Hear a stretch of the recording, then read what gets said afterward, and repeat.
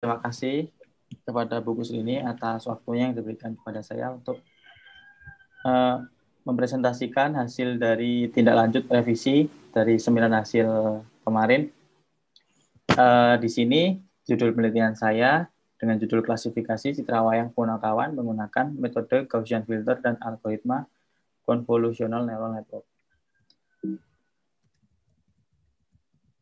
Uh, mungkin sebelumnya saya akan perkenankan saya untuk menjelaskan sedikit uh, gambaran besar dari penelitian saya yang sedikit saya ambil dari SEMAS kemarin. Uh, di sini rumusan masalah yaitu yang saya angkat bagaimana rancangan arsitektur algoritma CNN yang terbaik dalam klasifikasi citra wayang ponokawan untuk mendapatkan nilai akurasi yang tinggi. Kemudian apakah perlakuan citra wayang ponokawan dengan metode Gaussian filter berpengaruh terhadap tingkat akurasi yang dihasilkan. Nah, selanjutnya untuk gambaran besar penelitian ini, di sini saya uh, berfokus terhadap perbandingan tiga arsitektur, yang mana nanti akan saya bandingkan dan akan saya kombinasikan dengan penggunaan Gaussian filter, yang masing-masing uh, sehingga menjadi enam, enam core yang utama. Kemudian di sini arsitektur yang akan saya bandingkan yaitu ada Reset 50, VGG 16 dan MobileNet, di mana setiap dari arsitektur ini nantinya akan saya lakukan uh, fine tuning terlebih dahulu sebelum saya gunakan untuk training data. Karena pada dasarnya dari ketiga arsitektur tersebut uh, layar konvolus layar fully connected-nya memiliki 1000 kelas. Jadi saya sesuaikan dengan jumlah dataset yang akan saya gunakan yaitu 4. Lalu sebelumnya saya tambahkan uh, layar dropout untuk mencegah terjadinya overfitting. Nah, di sini uh, preprocessing data yang ada dua di sini preprocessing yang wajib dan sunnah, di mana untuk yang saat ini adalah yang wajib untuk semua skenario, uh, semua untuk citra dilakukan resizing dengan ukuran yang sama 224 kali 224. Kemudian uh, lanjut ke proses convert channel. Di sini karena RGB saya ambil channel green channel saja di sini sesuai dengan penelitian sebelumnya tersebut informasi pada Green Channel memiliki noise yang paling sedikit. Lalu untuk memperkaya data dan memvariasi data, saya lakukan proses augmentasi. Di sini uh, dataset yang saya dapatkan itu 400 dataset yang terbagi ke dalam empat kelas, yaitu kelas Semar, Bagong, Gareng, dan Petro. Nah, untuk memperkaya data, di sini saya gunakan proses augmentasi dengan empat parameter, yaitu ada horizontal flip, dan ada zooming, flip, dan lain sebagainya. Itu sehingga dari data training yang saya gunakan menjadi 1600 dan data testingnya tetap 80. Nah, kemudian dari ketiga arsitektur tadi uh, nantinya akan masing-masing dicobakan dengan empat skenario tersebut, di mana skenario satu terdiri dari arsitektur dikombinasikan dengan Gaussian filter, thresholding, dan Clahe. Lalu skenario dua arsitektur Gaussian filter dan thresholding saja.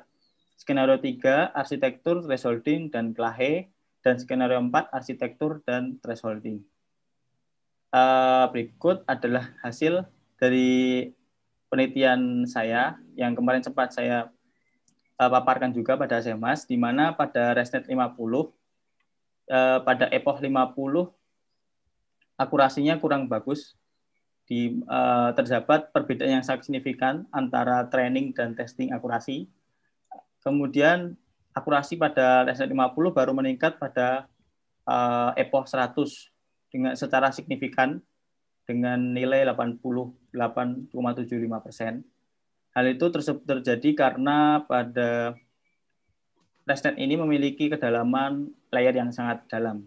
Kemudian pada mobilnet dan VGG cenderung pada EPOH 50 dan 100 memiliki uh, akurasi yang hampir sama dan bisa dikatakan stabil.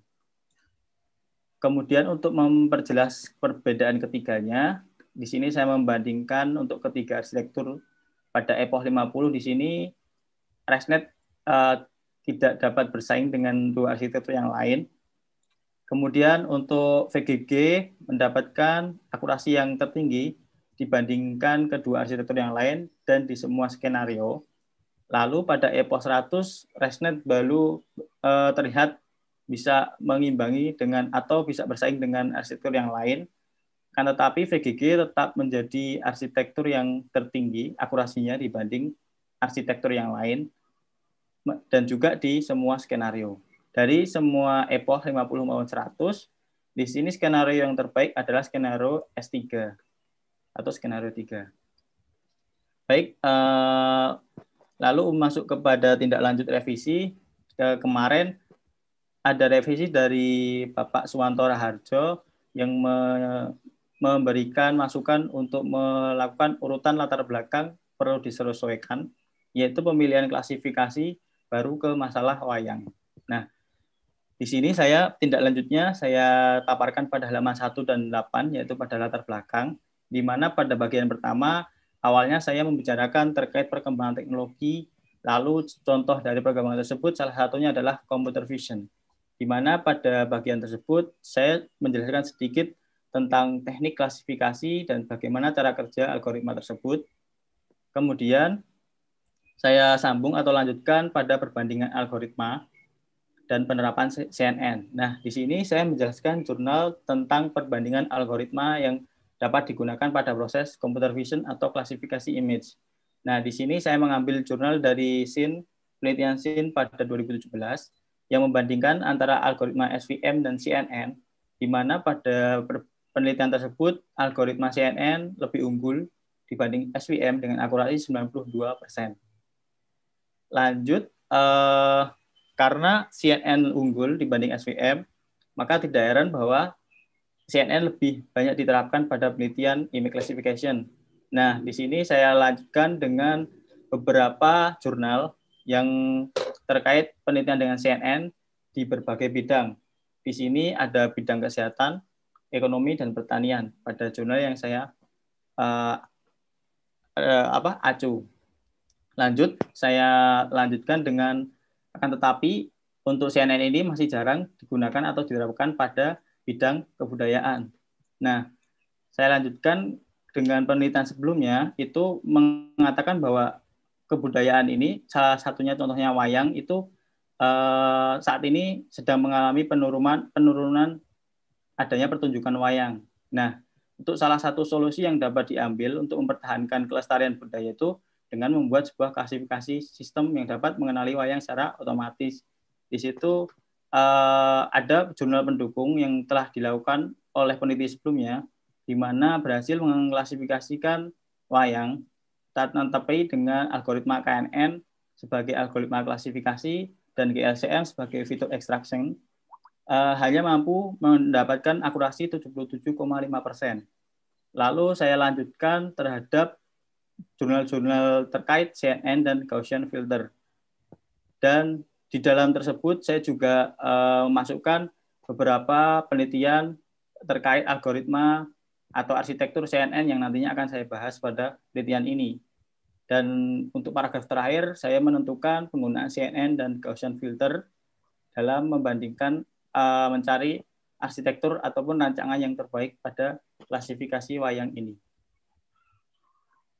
Selanjutnya untuk revisi yang berikutnya yaitu uh, akurasi yang ditemukan ternyata lebih rendah dari pustaka. Perlu dicari temuan lainnya dari penelitian ini. Nah, pada revisi ini saya melakukan tindak lanjut pada halaman 2 dan halaman 77. Di mana pada halaman 2 ini uh, pada seminar hasil kemarin itu jurnal yang saya acu yaitu jurnal perbandingan perbandingan algoritma antara CNN dan algoritma yang lain itu uh, sangat tinggi. Akurasi yang dihasilkan pada yang jurnal saya acu itu uh, mendapatkan hampir 99,8 persen. Yang kata Pak Suwanto itu sangat sulit dan kemungkinan mustahil untuk dapat ditingkatkan lagi. Sehingga di sini saya mengganti jurnal referensi dengan perbandingan SVM dan CNN ini, di mana CNN unggul akan tetapi dengan akurasi 92,8 persen. Nah, lalu untuk temuan lain dari penelitian ini, uh, saya melakukan uh, ini terkait dengan revisi yang poin ketiga, di mana untuk temuan ini penghilangan noise yang terlalu berlebihan justru kurang baik karena pada dasarnya citra green channel merupakan citra dengan noise paling sedikit, sehingga ketika diterapkan filter Gaussian yang fungsinya juga mengurangi noise, hal tersebut justru dapat menurunkan akurasi karena citra terlalu bersih dari noise. Nah, lanjut untuk tindak lanjut yang ketiga. Di sini eh, Pak Suwanto memberikan saran jika memungkinkan ditambah datasetnya dan mencoba uh, skenario ini dengan dataset yang lain. Nah, oleh karena itu di sini saya melakukan tindak lanjut pada halaman 76 yaitu saya melakukan percobaan terhadap dataset lain di mana saya mendapatkan dataset citra X-ray dengan jumlah 320 data yang terbagi menjadi dua kelas. Di situ saya melakukan percobaan dengan skenario yang sama dengan wayang ini dan menggunakan arsitektur yang terbaik, di mana arsitektur saat ini terbaik adalah yang pada wayang ini PGG 16. Saya melakukan percobaan terhadap citra X-ray. Di situ ternyata penggunaan Gaussian justru tetap uh, lebih, maksudnya akurasinya tidak lebih baik dengan skenario yang tanpa menggunakan Gaussian. Nah, lalu dari beberapa, saya membaca beberapa literatur, ternyata uh, keduanya itu uh, mempunyai sifat untuk mengurangi yang satu mengurangi noise dan satunya channelnya yang sangat bersih atau sedikit noise. Kemudian saya coba untuk mengganti green channel kepada RGB atau citra aslinya. Di situ ternyata uh, baru terlihat efektivitas dari Gaussian filter, yaitu pada tabel 4.5 di mana skenario yang menggunakan Gaussian filter mendapatkan akurasi yang lebih tinggi dibandingkan skenario yang tanpa menggunakan Gaussian filter. Uh, pada wayang di sini uh, yang Gaussian filter dengan RGB itu mendapatkan 98,75 persen dan VGG 16 yang tanpa Gaussian hanya mendapatkan 97,5 persen. Uh, selanjutnya untuk revisi dari Bapak MH, pertama yaitu secara umum penelitian sudah cukup, penyajian laporan cukup. Kemudian uh, untuk poinnya kedua, untuk mempertajam, kaji beberapa penelitian sebelumnya yang menggunakan masing-masing arsitektur, yaitu ResNet, VGG, dan MobileNet. Nah, di sini saya mencari tiga jurnal terkait tiga arsitektur tersebut dan melakukan review terhadap tiga jurnal tersebut. Yang pertama, saya uh, ambil dari penelitiannya Putra tahun 2020 yang menerapkan algoritma CNN dalam mengklasifikasikan penyakit retinopati. Dari penelitian tersebut menggunakan dua dataset, yaitu terdiri dari dua kelas dan tiga kelas. Kemudian uh, pada penelitian itu dibandingkan empat arsitektur yaitu GoogleNet, ResNet 18, ResNet 50, dan ResNet 11. Nah, rasio pembagian dataset 75% data latih dan 25% data uji. Dari hasilnya didapatkan ResNet 50 um, mendapatkan nilai akurasi yang tertinggi dibandingkan arsitektur yang lain dengan nilai 86,76 persen.